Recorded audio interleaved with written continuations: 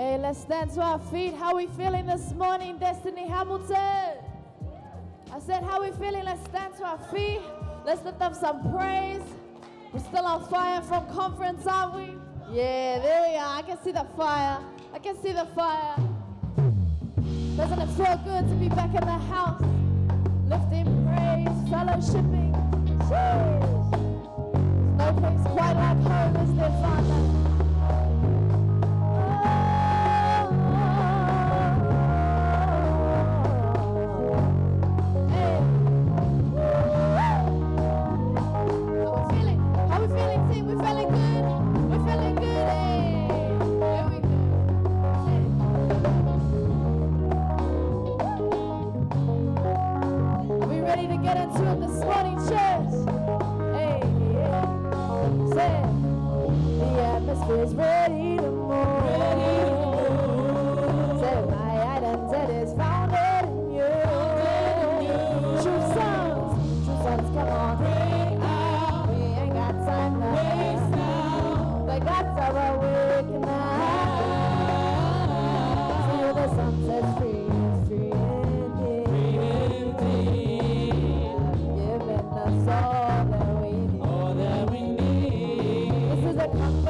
Christ and of the mighty.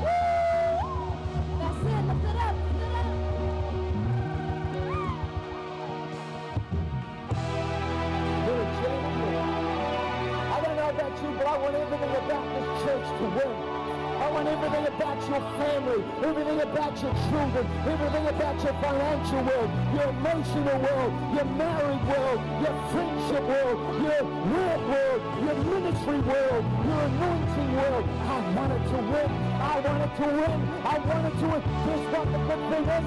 God says you shall win. You're not called to be average. You're called to be spectacular.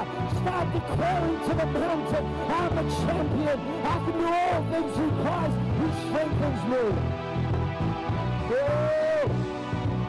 You've got to shout.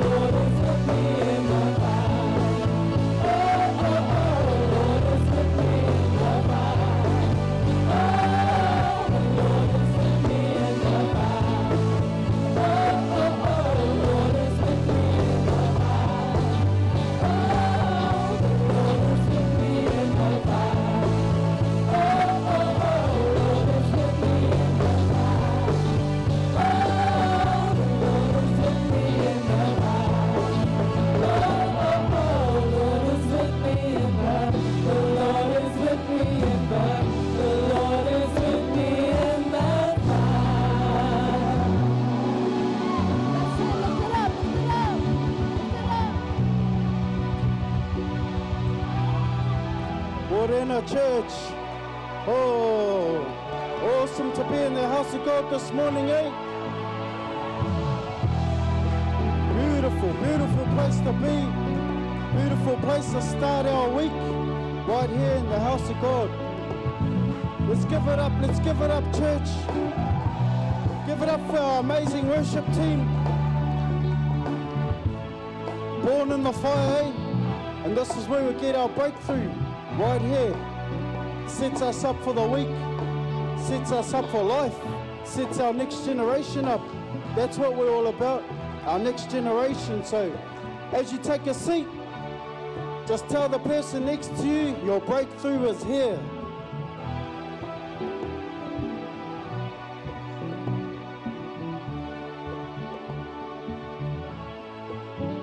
Awesome.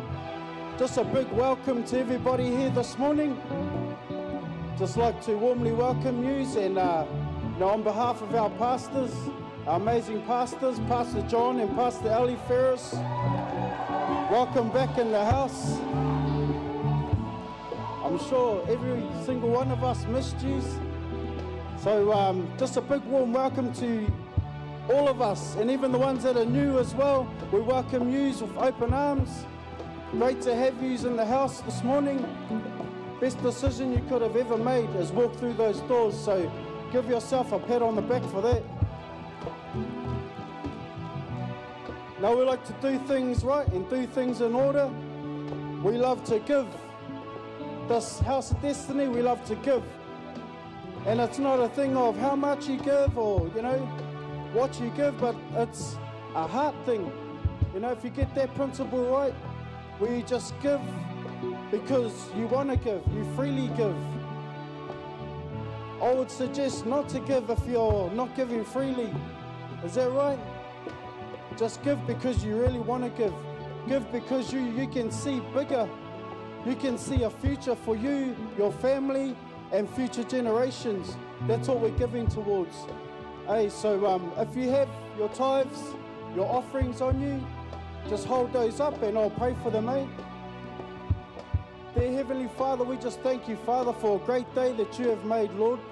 Lord, Father, that we will be glad and we will rejoice in it, Heavenly Father. Lord, as we raise these tithes and offerings, these these seeds, Lord Father, we just we give freely, Lord Father. We give, Lord Father, expectant of more souls in this house, Lord Father. We give, Lord, that uh, this house be bigger and bigger and bigger, Lord Father, that you work signs, wonders, and miracles, Father, continuously. So, Lord, as we offer up these seeds in our tithes, we thank you and we all said, Amen. Awesome, church. So that's our giving. So let's just give it up eh, for our youth. So we've got a, a Youth Nation event and it's a family movie night. That starts at 7 o'clock down here and that's on the 28th of this month. So give it up to our, our youth. You know, doing a great job there. Our leaders, you know, and um, they continue to support our young ones. So if you've got young ones, bring them along, you know.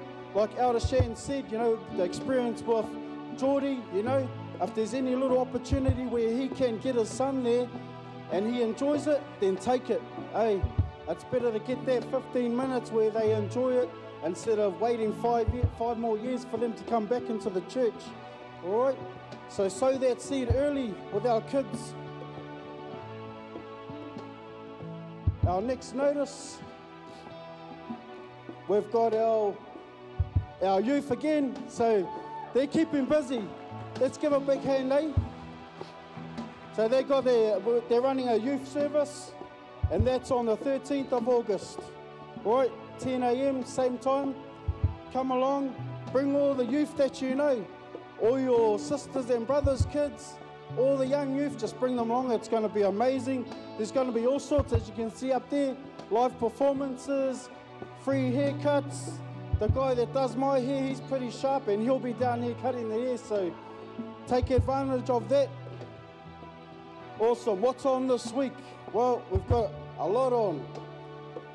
So Tuesday nights, we got our man ups and legacies. Let's give it up for the man up and legacy, eh? Awesome. And uh, you know, just just that alone, man up and legacy, it does great wonders, not only for us as facilitators, but for the people, the community, the men, the women, you know, out there in the community that are looking for what we carry, hey, as facilitators. You know, so if you're a facilitator, big ups to you, a big hand for you guys, because you do amazing. And it's all voluntary, you know, so you can't ask for any better, you know. We run by the heart, not by the money. So there's your details up there for Man Up and Legacy. Let's give it up for overcoming anger. Eh? That's an awesome, awesome uh, class there.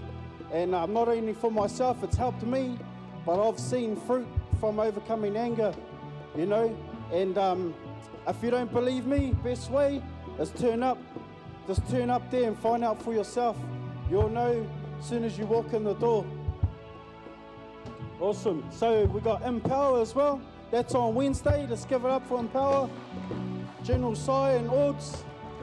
We thank you heaps for the time you, uh, you know, seed into into our people to help them move closer to God and have that relationship. Eh?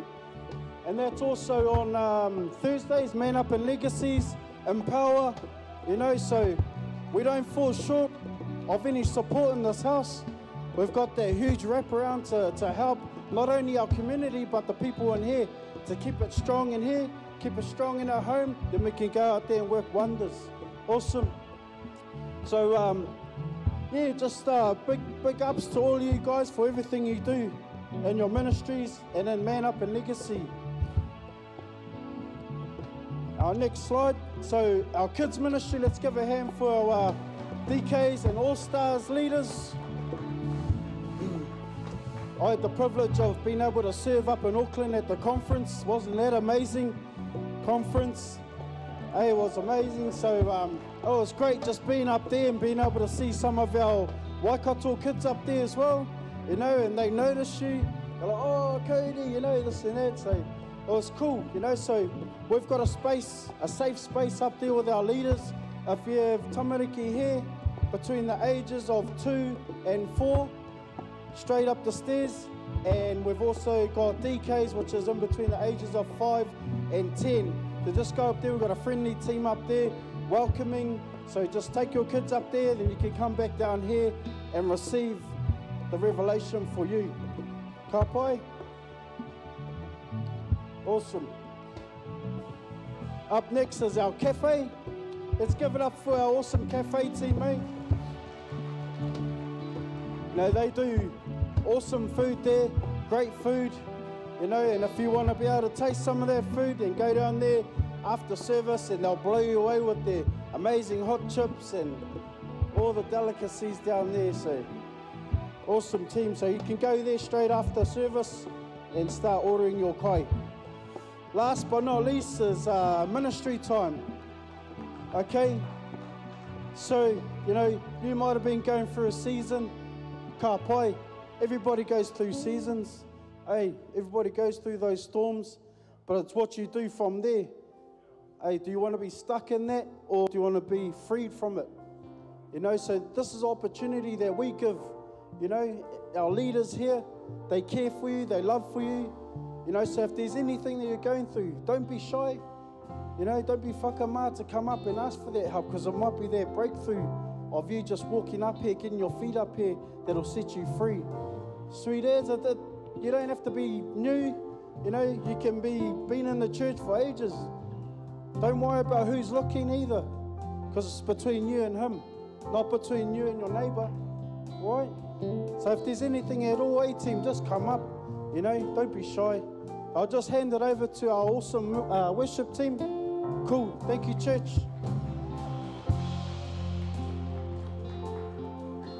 Check one. Good morning, church. We just uh, we've got a new worship song this morning that uh, we're going to present. Glorified in His name, we worship you, Father. Unified as one. Reira, tēnā.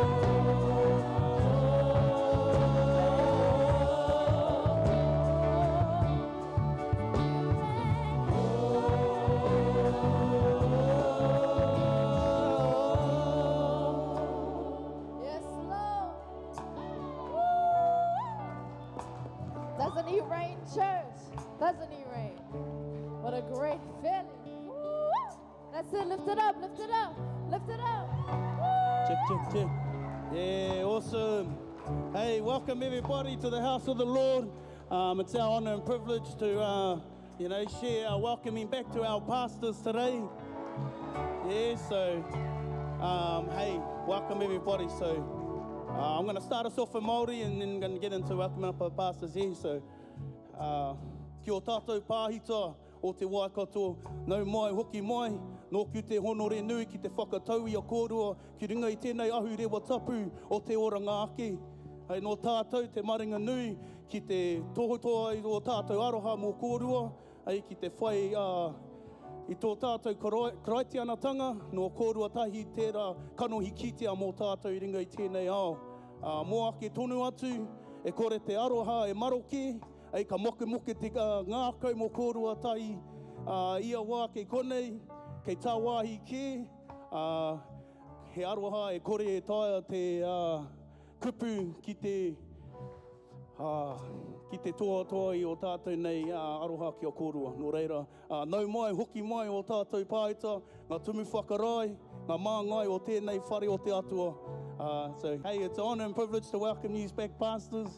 Uh, try to hold back some tears, to be digging deep, but, you know, just want to just, uh, on behalf of the church, our elders, our generals, our leaders, our past, present and future, um, people that you have sown so much, so much into a lot of people's life, and we're forever grateful, pastors, always for you and your tamariki, you know, for you and your kids, that it's awesome that, um, you know, it's only a small token, but ahakoa he iti he pounamu, that it's only a, a, a what do you call it, a, um, a symbol of our love for you.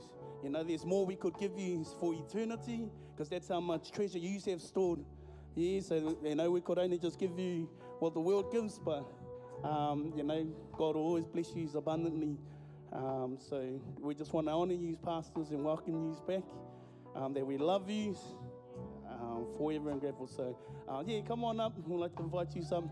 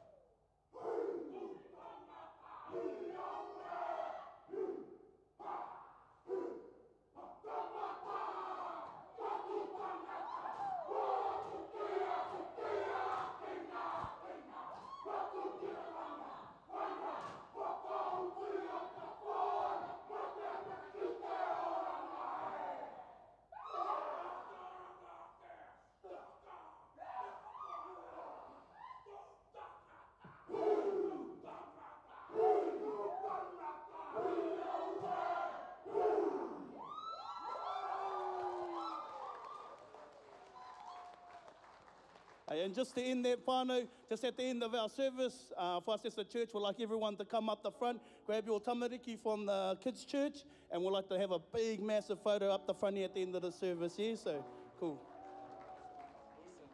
Hey, uh, kia ora everybody. Morena, please be seated and uh, I'll let Ali uh, say something first. Thank you so much. It was so lovely coming in here today, and I expect lots of hugs at the end. Got some at the beginning, but um, oh, you're amazing. That's all I can say. It was so cool coming in here today, and we've had a great holiday. It was really good for us as a couple. Been getting on a lot better, haven't we? we needed to get away and just get a new lease of life, I think. And um, the highlight for I probably both of us was having time with our girls over there, and we missed our beautiful girl back here, and Jensen and Nico. But um, so it was cool coming home to them as well, actually. But just having time with Carly and Shari, and it was lovely because we saw a bit of their world and where they live, and sort of went to Carly's work for a day, and she put me to work the day I got there. but I loved it. It was it was really cool. So I got to meet the family that she does nannying for, and they're so lovely, and I was so grateful to them. And um, she's very loved and looked after, and very happy. And yeah, and then I had a couple of weeks with Shari on my own when um, Johnny was off to Scotland. He'll probably tell you about that a little bit. So we separated for two weeks, and um, he did his thing, and then he met Carly again. She met him in Poland, and they went did a few things there. And I had Shari to myself for a couple of weeks in Italy, and it was it was just beautiful, just having that one-on-one. And best job in the world is being a mother. You know, it really is. It's just they're just treasures, no matter what age. They're just such a special little gift, and um, I feel very blessed actually. So yeah, I feel younger than I, when I left, so that's good. And um, yeah, just want to thank everyone, all of you, from the elders right through to all of you, for looking after each other and still being here and standing strong. It was that's a blessing for us to be able to go away and have a breather, but come home, know well, be away and know everything's all right, that you're all okay. And coming in today just was so cool. I loved the worship. I've missed that. And I didn't get to any services when I was away. I did go on a Sunday to Paris. I just walked into a church. Our times were all up the chute, and I didn't know where anything was, so it was just a bit random.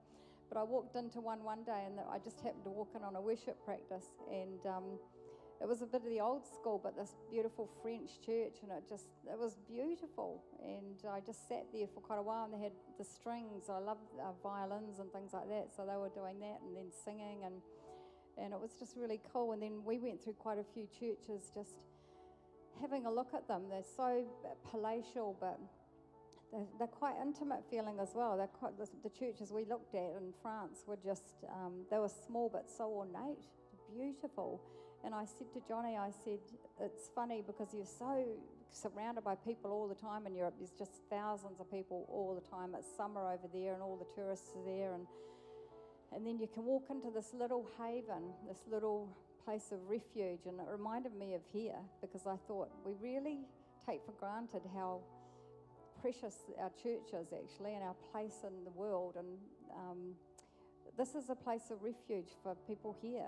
And I really felt that when I was in France. I thought you walk away from all the, you sort of escape from all the pressure and all the loudness and all the bustle of people, and you come into this place, just the quietness of it and the beauty of it, actually.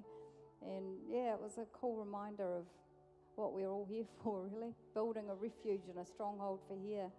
But um, yeah, it was so, it was a very cool holiday, and we had a lot of laughs and did a lot of walking, and it was good for me. So I'm going to join a gym. I've been a slap bum, so I've, I've, sort of bought my gear. I said to Johnny, I'm going to buy my gear, so I have to go to the gym. So, yeah, I want to keep up my fitness because I was walking six hours a day over there and my feet were just shot. but I kept going because it's so beautiful. You just want to keep looking at everything. But I've thought, no, if I want to have trips occasionally, um, I need to have better fitness. But yeah, I did pretty well. I'm a lot fitter than I was. So, anyway, that's enough from me. You've been waiting to hear from him. love you all. Thank you. I love the flowers. Awesome. Yeah, thanks, love. Hey, it was so good to see you. Hey, thank you for that beautiful welcome and um, from everyone, uh, Clark and Elena. That was just so uh, awesome and beautiful. And uh, brothers there and sisters doing the haka. Uh, man, it just just made me think. Thanks, guys. Um, how much you know I love being back in New Zealand and and um, uh, to be you know a New Zealander is awesome. And actually, I hardly saw or heard any New Zealanders. saw one fella in a shop with a, uh, all black t-shirt on and I was going to go and say hello but then I got sidetracked and he'd left but uh, hardly saw any Kiwis over there actually which I was a bit surprised um, but yeah it was um, just so beautiful to be back home and as much as uh, it was awesome to get away and it was really lovely to get away that's that's the biggest holiday we've ever had in our lives. And, um, uh, you know, it was probably overdue, really. Um, but it was, it was awesome. And just to have that time um, with Ali and also um, our two other daughters uh, was really special as well. Probably time with family was the highlight, to be honest. People ask, What's your highlight? And um, that was the highlight family. Family time together is the most greatest gift from God, I tell you. It is the most greatest gift from God. And we got to look after our families. We've got to look after one and one another. We've got to prioritize um, our time with our family. Life goes so fast and uh, life goes so quick, and we never know what's around the corner. And uh, so to have quality time at whatever way um, you can is, is, you know, do it, make it happen somehow. Uh, just don't lose Jesus on the way in, in, the house of God. That's the key to that, but to have it, that's for sure. So it's great to be home and uh, with everyone. It's flimming cold when I got here, but I thought I'd bring a bit of summer to church today. And I got these new clothes, but they're all summer clothes over there. But I thought, oh, it's not that cold today. It's sun shining, so oh well, hallelujah. You know, t-shirt and something else, whatever they call the things. But anyway, uh, so you know, so it's cool um, to be here. Man, we missed you guys, and so good. Um, and I understand you had a great conference for those who were able to get there. And um, so normally coming off conference, I'd be sharing in the line, but of course I was away, and when I tried to get on, I couldn't. Then in the last uh, week has been a lot of travel to get back to, to New Zealand, and so um, and then get over jet lag.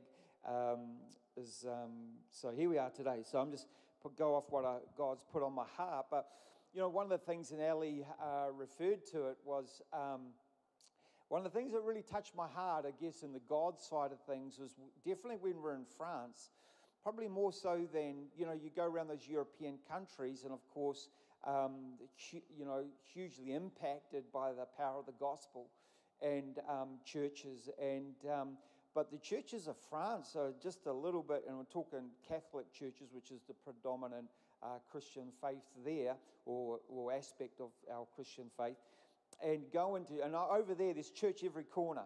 You know, we have dairies every corner in New Zealand. Over there, they have churches. Uh, literally, you go one corner, could I be just three houses away, or that there's another one, and you know, a lot of them are open um, during the day and into the later into the evenings, and so pop in there and have a look. And, and like Ellie says, they're, they're quite ornate and quite beautiful. Of course, a lot of them have got, um, you know, the uh, what would you call them? You know, all the paintings and all that, and and statues, you know, be hundreds and hundreds of years old and probably worth, uh, you know, couldn't put a price on them, valuable.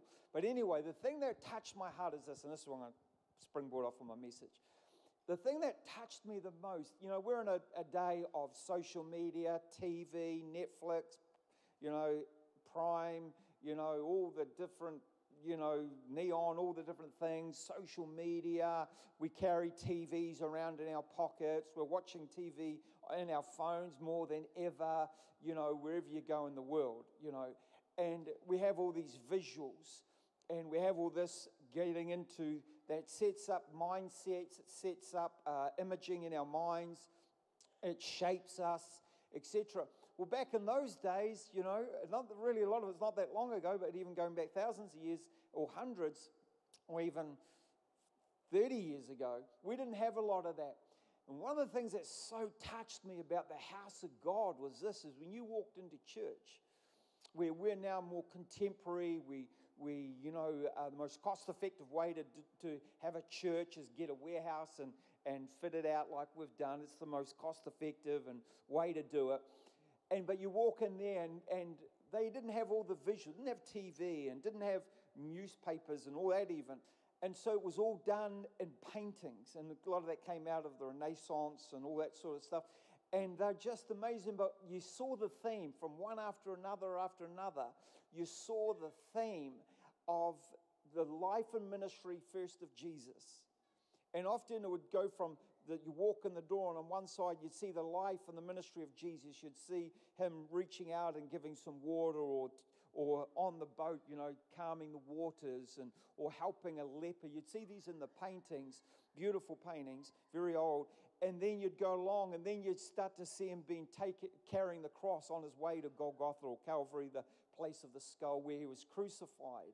And you'd see this around the room, this beautiful art form, and then you'd go to the ceilings, and now you see him in paradise. And the whole thing gives you this sense and reminder of what Jesus has done for us. And I actually liked it. You know, I actually really loved it. And I saw it better in France than in Greece or Italy. You think Italy would be at another level. In some ways it was, but, but the French really captivated it. Um, and I loved it. No, I'm a, I'm a Protestant, and we're Protestants, I guess, in the sense that we don't pray to Mary and we don't have some of those things, but a lot of the other stuff is we do believe in, and we have similarity and belief and faith in, of course. And um, but it was so inspiring, and you know what it made you do? It made you contemplate, it made you think, it made you meditate. And I sort of, for the first time, got the sort of caught a little bit why church was quiet, and why this could be so foreign to people who are used more used to that. Now, I wouldn't want to not have what we have here. Actually, what I thought, if I was some real a billionaire, I just about would say, Can I buy that church, lift it up, put it on a ship, and bring it out, park it out the back here, and just a place you could go and meditate and think and contemplate on God? Because it was actually really beautiful. It was really nice. I wouldn't want it like that all the time, but there's a place for that, you know? You know what I'm saying? But I was captivated by this. And then coming home, and I'm thinking, you know, well, I wasn't at a conference, so it's hard for me to, to download some of that, and I don't want to mess that up. And I encourage you to go over your notes and keep walking in that revelation, the spirit of that, and the power of that, and the, the glory of that. Please continue in that. But what I got to go, what was fresh in my heart, and I couldn't help but think the blood, the cross, and the forgiveness of sins the very foundation of everything we have and will ever have, the very foundation and the heart and the beauty of the great nation that we're called to be and to walk in and be a manifestation of. You know, that, that we have been freed from the, the, the, the power of sin and the power of darkness and the brokenness that it's brought to our lives and our family that now gives us a hope to strive for something better, to believe for something better, to whatever heights we reach it in this life. And as long as we reach a level, end of the day, that's what really matters.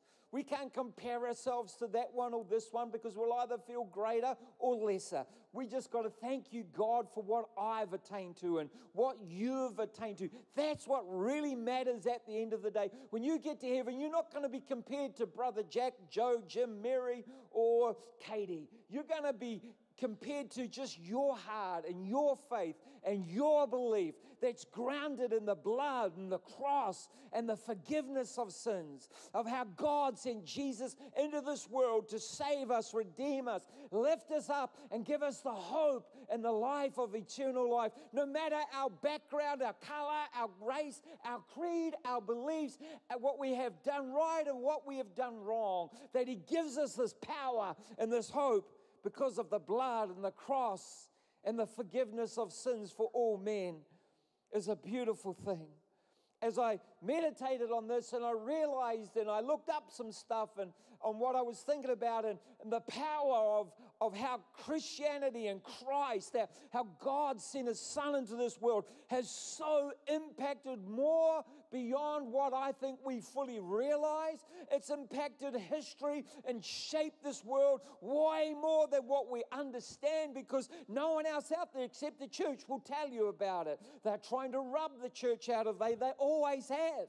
In fact, I stood on places where the blood of martyrs was poured out so that it was just like rivers of blood, they said, from the Christians like you and I who stood for their faith and why we still believe today. I stood where St. Peter was crucified upside down in front of now the Basilica in the Vatican in Rome. But they held on to the blood and the cross and the forgiveness of sins. They infused it into their families and they infused it into society, and we've been robbed of that. We've been, that's been taken from us, our whole country and our world, no matter what parts of the world have been impacted by Christ, the blood, the cross, and the forgiveness of sins, like no other movement the world has ever seen. But that history doesn't get shared, that history doesn't get talked about. When I think of the other uh, nearest uh, religion to Christianity, and we'd come up probably with Islam, and how in 610 AD, or if you want to use the non Christian term CE, which I didn't even know about, but that was taking Jesus out of our calendar, which I'm surprised I was thinking about why they haven't already tried to do that. But anyway, that, that when, when Christ walked this earth, the impact of bringing people closer to God, it in, in history tells us it created a desire to have more connection with God and to have a greater spiritual walk with the Father. And so they, they went looking and how it impacted the, the nations of this world that became Christ and followers of Christ and impacted. And then things turned up, and that Christianity was really the, the, the stirring and the working that, that created and brought out of that Islam. Where in 610, Muhammad, you know, not Muhammad Ali, but Muhammad, the, the prophet for Islam, they wanted their own version. But they wanted to have Abraham and Isaac and Jacob and Noah, and they wanted to have Jesus, and it's all in their Quran, their, their Bible. But they wanted to have their version of it because they want they thought, nah, that's more those people's, well, this is our one, and and they lost that there. And you can see where the enemy came in. Of course, then you've, you've, you've got the whole um, Isaac and Ishmael thing that I know Apostle spoke about a year or so ago. Um, you know, lines come through. I'm not going to go into it, but just the, the power of the, the, of the impact of what? The blood, the cross, and the forgiveness of sins. The impact that had on this world is astronomical. And I guess even going to a lot of those European countries, and you can see this in, in a lot of other countries I've been to, non European countries, that power that this brought into the world. And it changed. It changed thinking, it changed mentalities because it revealed the benevolence of a God who wants to be close to you. That wasn't around, not even in Judaism, which of course is our roots, also the roots of Islam. Hmm. And yet they're enemies. It's crazy. But that's man getting involved there, eh?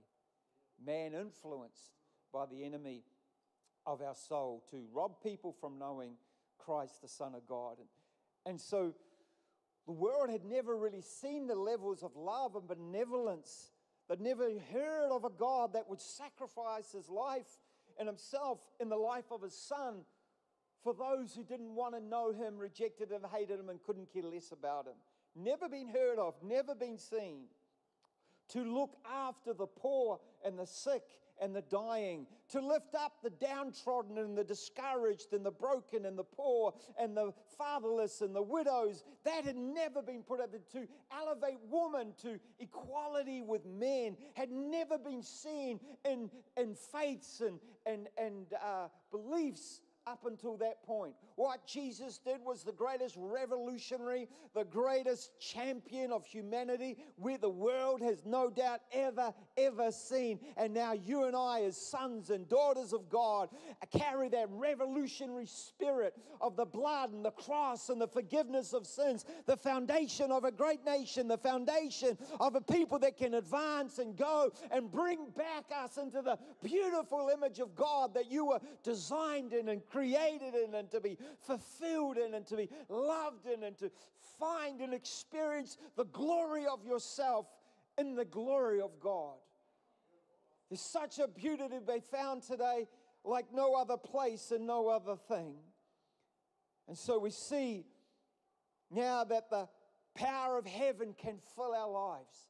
The power of the Holy Spirit can now come into our hearts and lives. The, the power of eternal life and eternal hope, and knowing where you will go one day when you pass from this world to the next world.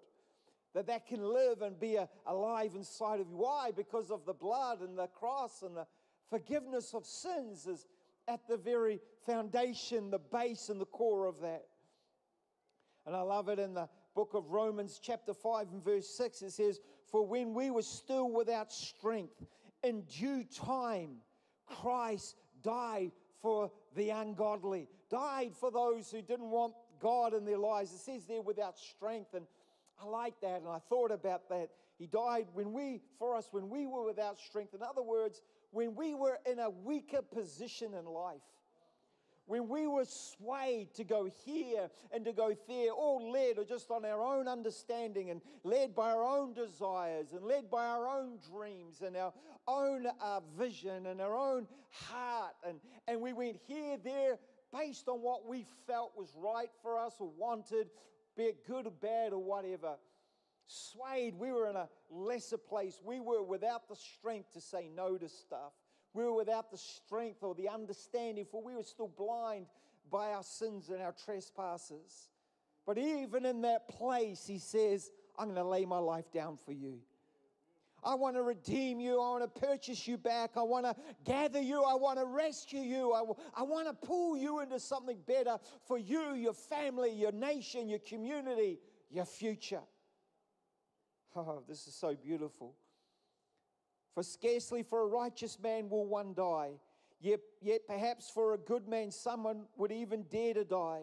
And then it says this, but God demonstrates, God proves, God reveals his own love toward us, and that while we were still sinners, why we're still naughty, why we're still carrying the stain of our sins and our wrongs and our darkness, still carrying the monsters in our heads, the demons in our hearts, the lacks, the loss, the traumas, the hurt, the pain, the confusion, the, un, the lack of understanding.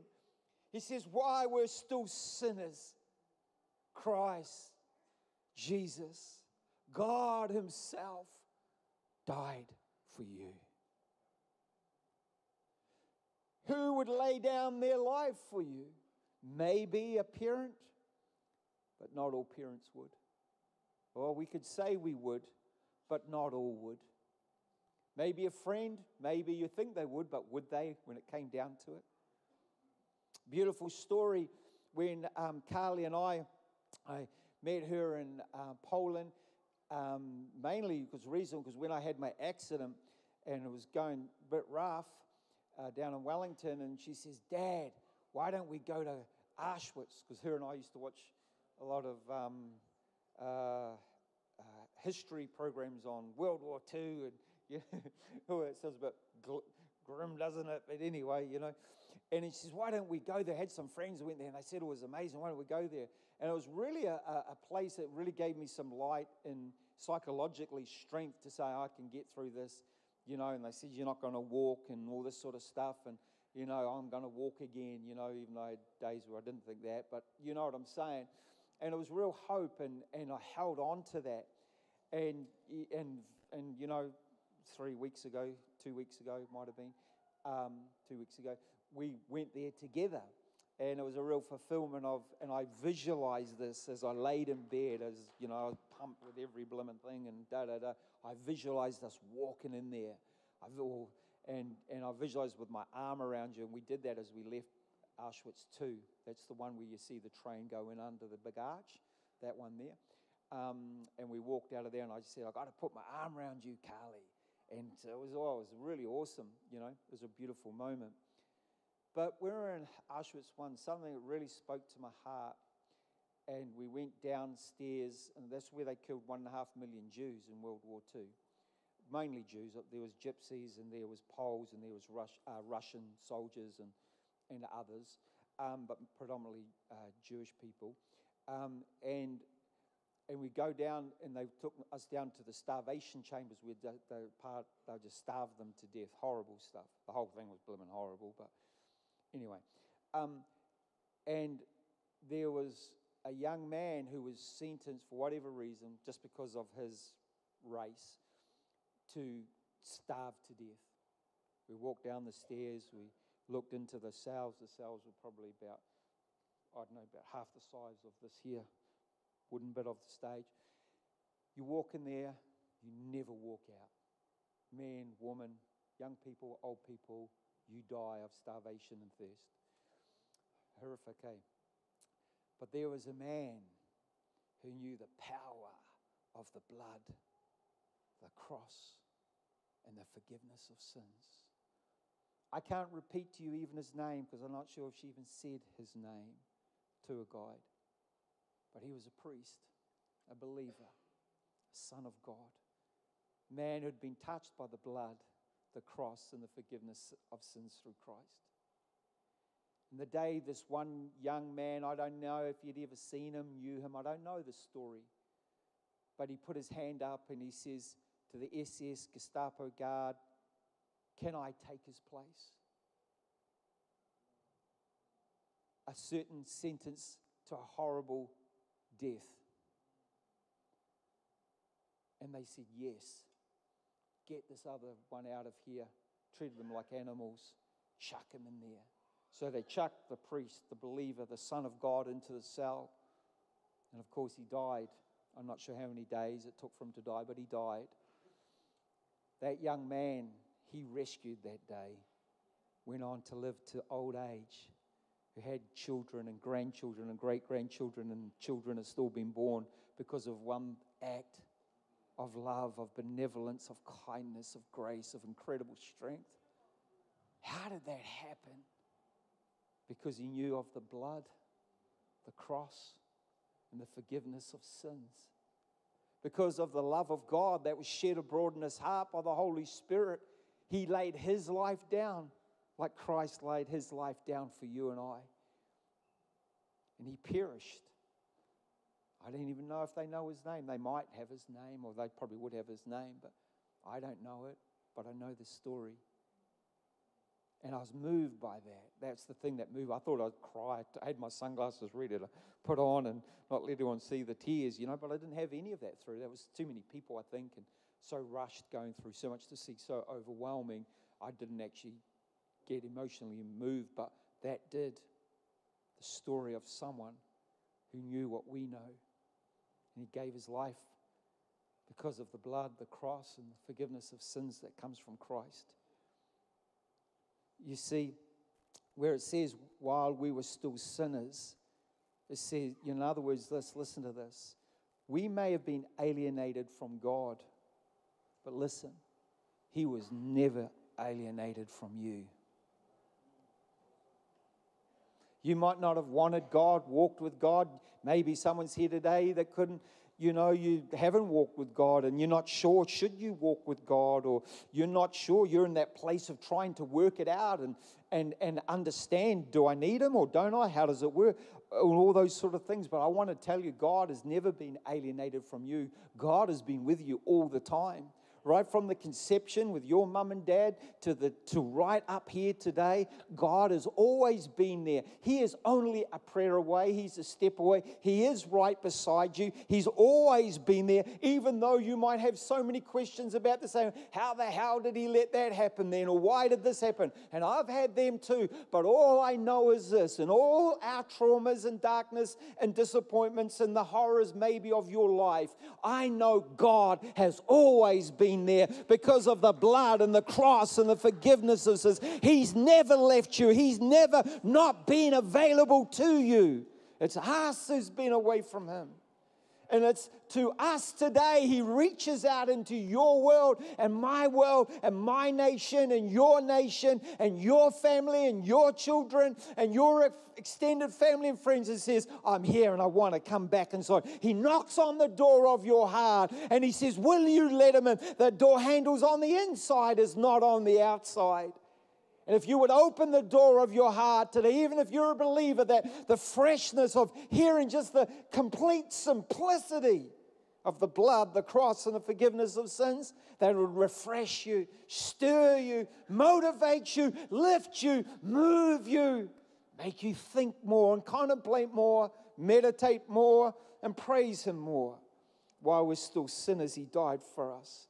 He's always been invested in us says that we're justified by his blood. In other words, just if you'd never sin, imagine all your sins as far as God is concerned. If you've confessed them, asked them to forgive you, He goes, What sin? What? Eh? It's not because he's got dementia, Alzheimer's, or he's whacked out on coke. No, it's because he chooses to forgive every one of your transgressions. He hold nothing against you. That's the power of our God. That's the, I tell you, the world and our organizations and governments and this one and that one, even friends and family will hold against you your wrongs. They will hold against your misgivings. They will hold you to a certain image or a certain look. But I want to tell you, God doesn't look at you that way. God doesn't hold you bound to your past. God looks past everything.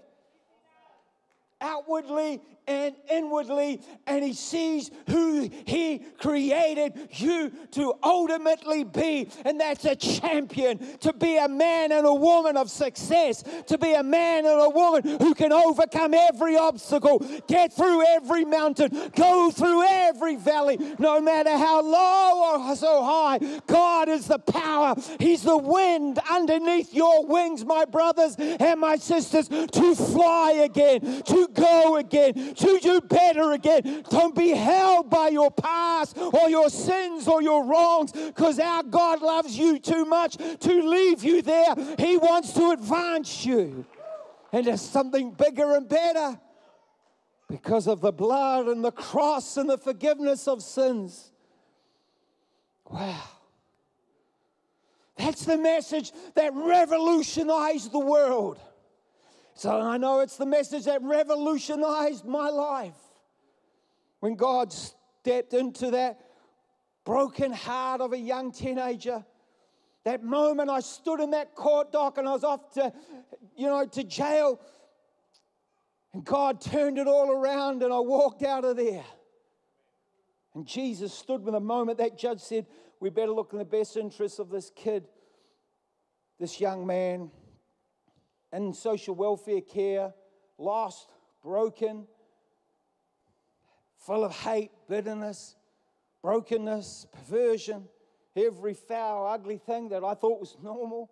I thought was good, I thought was cool, I thought was the best way to live. Suddenly, Jesus turns up in the blimmin' courtroom. And I was up for Class A drugs, but I wasn't stoned. I was straight as a die that day. I was too nervous because I didn't want to go to jail, to be honest. But you know what? He brought forgiveness because of the blood, the cross, and the forgiveness of sins. Doesn't matter how old or how young when you receive Jesus, He washes away your past. Doesn't matter tattoos you have, it doesn't matter the looks you carry, doesn't matter on any of that. He looks beyond that and he sees the power, the beauty, the glory of who you really are. Others will define you as this person or that person, but my God defines you as one he loves, one he cherishes, and one he cares for. Oh, the power of the blood and the power of the cross and the forgiveness of sins is overwhelming. It's so big, it's so deep, it's so powerful, it's so simple, it's so easily lost in our walk in our faith. But I want you to hold on to it like nothing else. I want you to have that place in your heart and your homes where Jesus is just number one. That moment you'll just pause and you'll just have a little thought and you go, Wow, God, you're cool, man. That moment where you'll maybe fall to your knees in tears and fear, anxiety, and worry and condemnation and failure and just say, God, help me. That moment you'll just take a second and just say, God, you thank you for that. You're awesome. Thank you for that breakthrough. This is the best life. No matter what it might be that you grab him for a speck of a moment or longer, whatever it might be, and you pull him into your world afresh every day. Keep him alive and afresh every day, no matter what we go to go through. So I love it in Revelations 1 5, and it says, To him who loves us and has freed us from our sins by his blood. In Revelation 7 14, it says, These are the ones who came out of the great tribulation and they washed their robes and they made them white in the blood of the Lamb. You know, I don't usually wear white t shirts because you can guarantee this little palangi's going to spill something down the front. I was having a coffee and I just about knocked it over. Oh, don't do that now, you know. That's why I normally won't because, you know, it looks horrible. you got a stain on a white t shirt or, hey, you know. um, but you know what? Our, that's what sin does, it stains us. I thank goodness if I stain my shirt, which is likely to happen, that there's a thing called, I had to ask Ellie this, what's that stuff called? Sard, she said.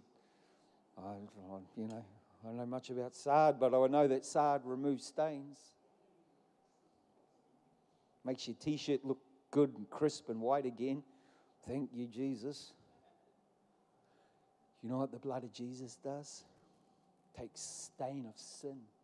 Sin stains you. Naughtiness stains you. Dumb stuff stains you. You would never go out with egg stains and coffee stains and tomato sauce from your fish and chip stains. You wouldn't go out on a date. You wouldn't go out even with your mates with stains all down your t shirt. You'd either change it for a black one, chuck it out. That's why black is always good, right? and, and yet we carry stain. But it says they washed their robes and they made them white. They washed their robes and they made them white. And it says, in the blood of the Lamb, wouldn't that make them red? But it's like sard. It just takes the stain out. Doesn't take you out. Takes the stain. And the stain gets taken out of your heart. It gets taken off your life. You might not be able to see it, possibly, but they're there. You don't have to walk around with egg down your front anymore, church, because the blood of Jesus takes away the stain. He applies the spiritual sard to cleanse you and make you whole again before Him. How beautiful is that? I love it in Isaiah 1 verse 18 it says this Come now, let us settle the matter, says the Lord. Though your sins are like scarlet, in other words, like red standing out, red tomato sauce down your white t shirt, they should be as white as snow. And though they are red as crimson, they shall be like wool. How beautiful is that? See, God takes away the stain so that you can walk free before Him. Now, listen, something beautiful I had a bit of fresh revelation on last night. Is there something really beautiful that happened when Jesus was first taken prisoner to be crucified? And in Matthew 27 28, you can look at it there in your own time. It says, They stripped Jesus of all his clothes. What did they put on him? They put a scarlet robe on him. And I understand that diff- one of the things with scarlet, it can speak of royalty like purple does, because red was a very difficult color to dye things in. And the Romans um, used a, sea, a type of seashell.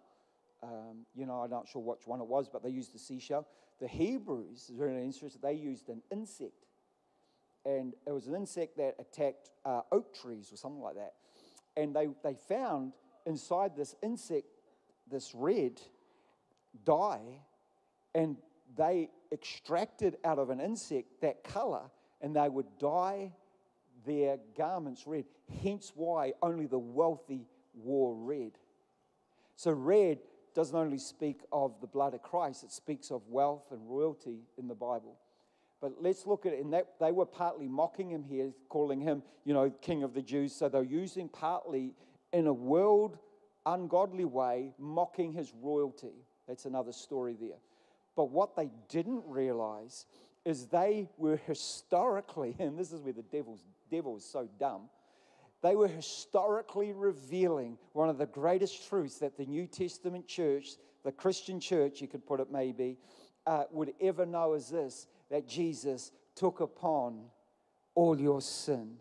And when they took off his clothes, his divinity and sort of humanity all at once, so they thought, they put a, a, a scarlet robe upon him. It shows you the point where he took on, the Bible says, all the sin of man. He took on Isaiah there, the scarlet robes that spoke of your sin, that he took on the scarlet robes so that your sin stains could be turned as white as snow, that all your stains and all your misgivings and all your trespasses, be them a little bit or be them massive, Jesus put on the robe that indicates to you he took your wrongs and he took your sins and he took your bad and he took your ugly and he put it upon himself so that you would never ever have to carry the shame of a wrong decision, a past indiscretion. You can walk free from guilt and condemnation, and you can walk bold and courageous throughout your life and be who God made you to be. Hmm. The Roman soldiers didn't know they were actually being used by God. He took upon your sin. You see, the Bible says God made him who had no sin to be sin for us, so that in him we might become the righteousness of God. You are now the righteousness of God, not on what you've done or haven't done, but because you were given the gift of the blood and the cross and the forgiveness of sins. When God looks at you, you're white like this t shirt.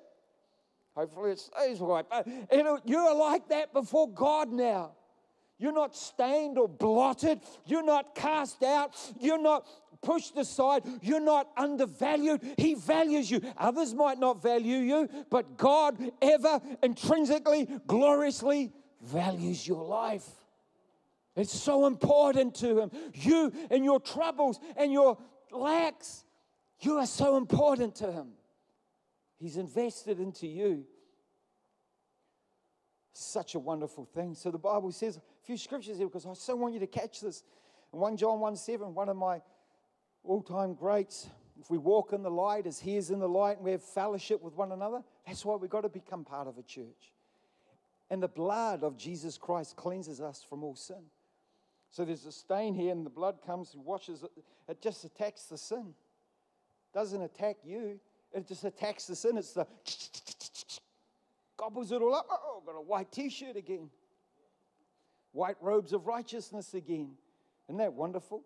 He says, if we confess our sins, He's faithful and just to forgive us our sins and to cleanse us from all righteousness. Man, isn't that awesome? He redeemed us. In other words, this Jesus purchased you. I'm purchased. I was a slave to sin. He came along, purchased me, redeemed me, redeemed you, purchased you, and set you free from being a slave. We were once all slaves, man. We we're all manacled, you know? When I went to the Colosseum in Rome, that was, I didn't know this, that was um, done, um, uh, built with, by Jewish slaves. I'd say thousands of them would have died there as well. Incredible, just out the gate crazy. Slaves, manacled. But Jesus sets us free. He purchased us, it says in book of Acts, uh, by his own blood. Let me finish with two fellas in the New Testament. Because this trans- is the transforming power of your life. Other things will touch you, restore you, lift you up, help you be a bit better, which is great. But nothing will transform your life than this is the understanding, the revelation of the blood, the cross, and the forgiveness of sins. There was a fellow in the Bible called Joseph, Joseph of Arimathea. He was a rich man. He was a prominent member of the religious council of the Pharisees and Sadducees and that, those groups of, of people. He also, which is pretty cool, a secret disciple of Jesus. He was a man, it says, waiting for the kingdom of God to come. It says that he was a good man and a just man. Uh, but when, listen to this, he was a secret follower. He was, he was prominent. He had stature in community. He had wealth.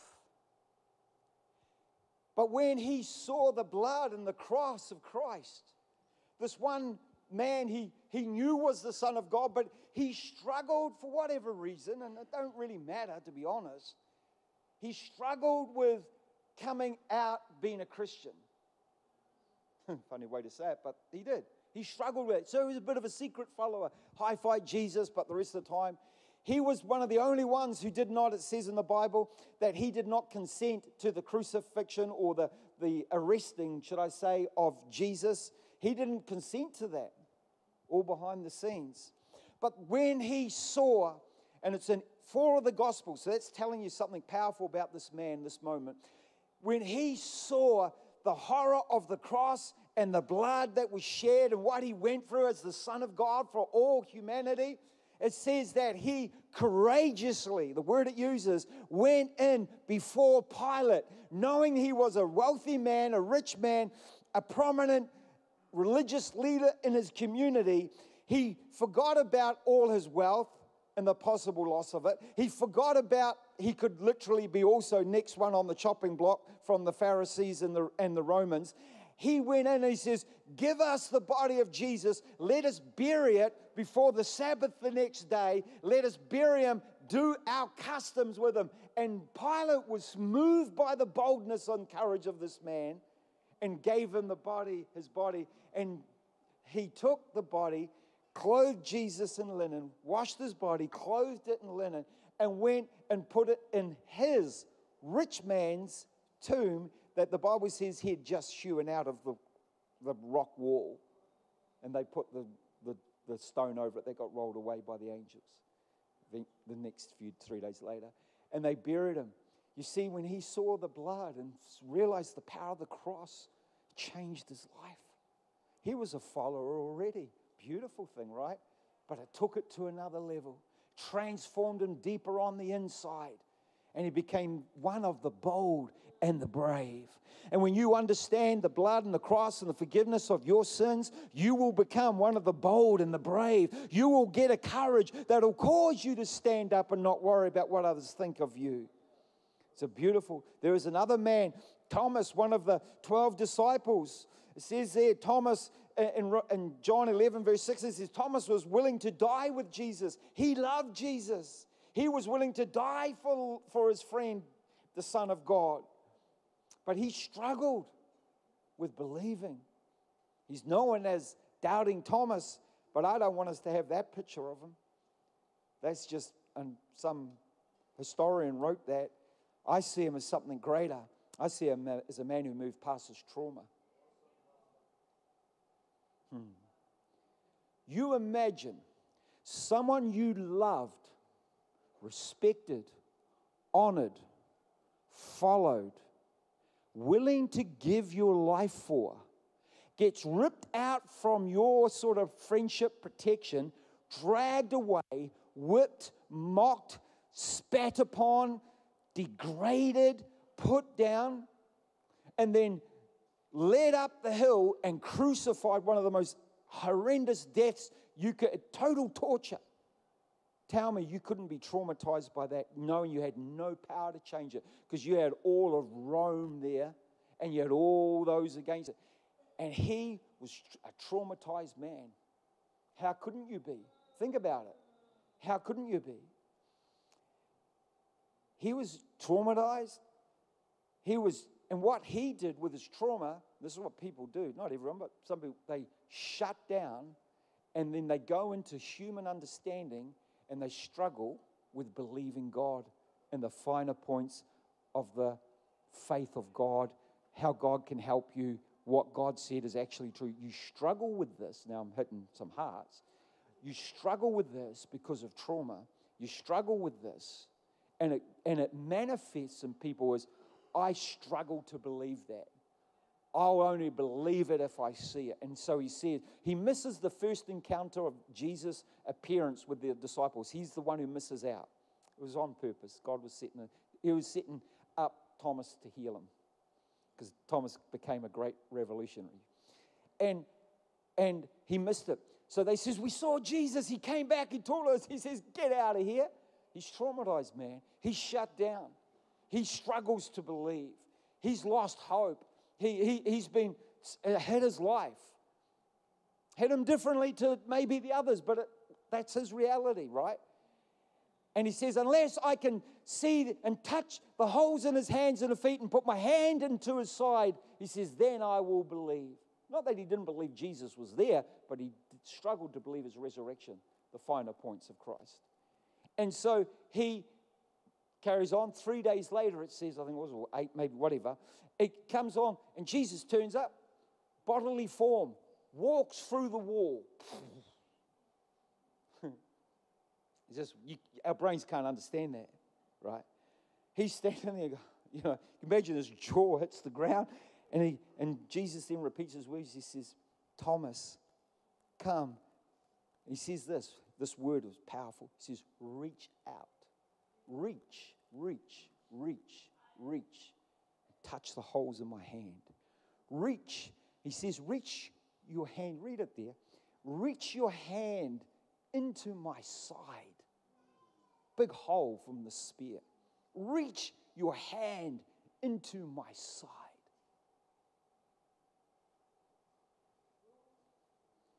God moved him, transformed him, was about to take him out of trauma, the struggle to believe, and into a place of incredible faith.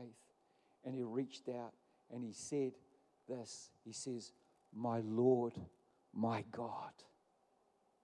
Jesus didn't condemn him. He went on and says, You know, blessed if you believe. But he was helping and teaching us. But he took him. He didn't condemn him for not believing. He didn't condemn him that he didn't stand with the 12 saying, Yeah, we saw Jesus. He was the opposite. But Jesus came and says, I'm going to move you through your trauma. I get you, Thomas. I love you, Thomas. You're special. You're unique. You're not like everybody else. I like that, Thomas, about you. Don't lose you. Don't compare you because Jesus doesn't. And he says, and he healed him.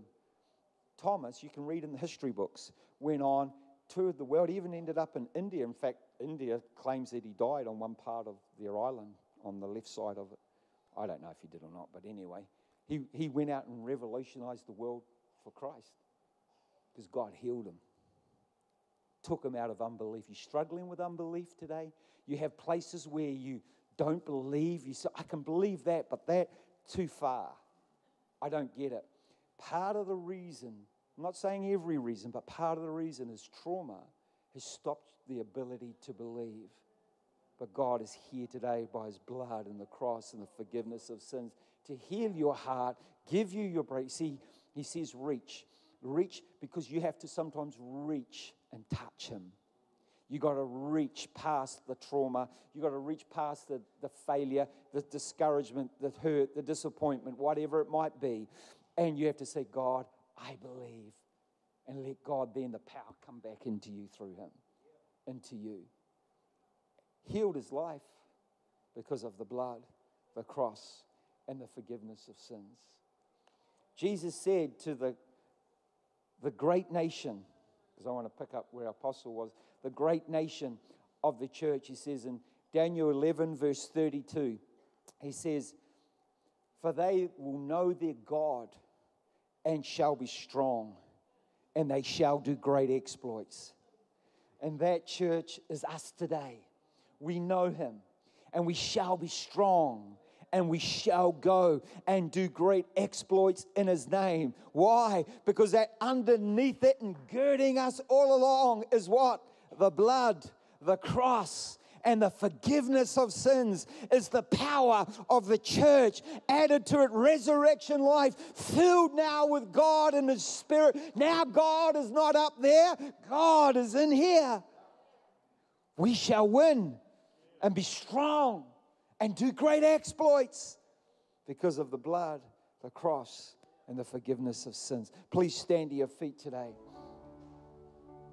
Maybe you're here today and you want Jesus in your life.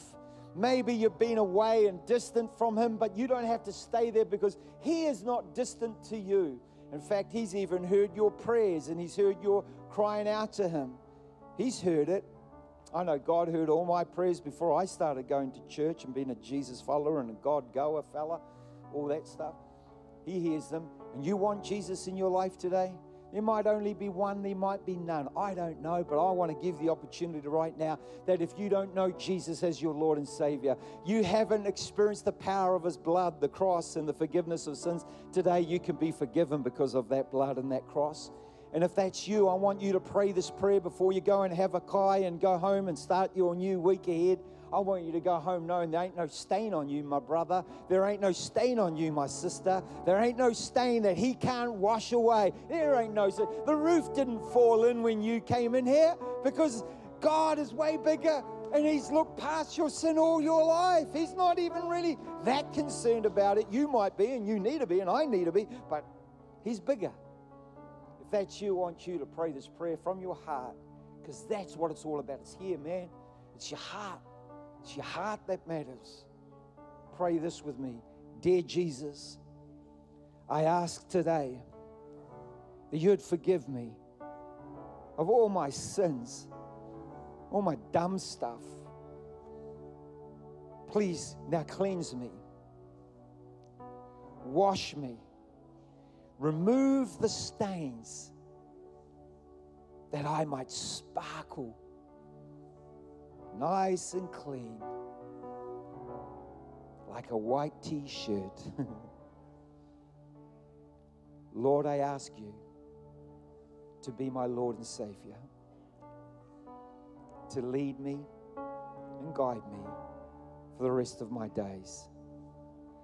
Lead me through the valleys and help me enjoy the mountaintops. In Jesus' name I pray. Amen. Let's give him a big round of applause because that, to be honest, I just find that lovely praying it myself. ah. You know, if you prayed that today for the first time, you prayed that because you want to come back to God, or this is your first time, I don't know. If that was you, I want you to put your hand up and just say, Pastor John, that was me today. Awesome, my brother. Mean, man. Fantastic. Anybody else today? Anybody else today? I just want to know eh, anyone walking out of here, there's no weight on your shoulders. Oh, bless you, brother. Awesome, my man. That's the one. That's the one. Anyone else? Any of our sisters today? Awesome. Bless you. Bless you, brothers. Hey, I'm going to finish the meeting in a minute. Could you two brothers shortly come up the front? I'd just love to shake your hand. I'll pray for you as well if you'd like to. The two brothers. Yeah, yeah, come now. That's awesome. Oh, I like that. Be bold. Mean as.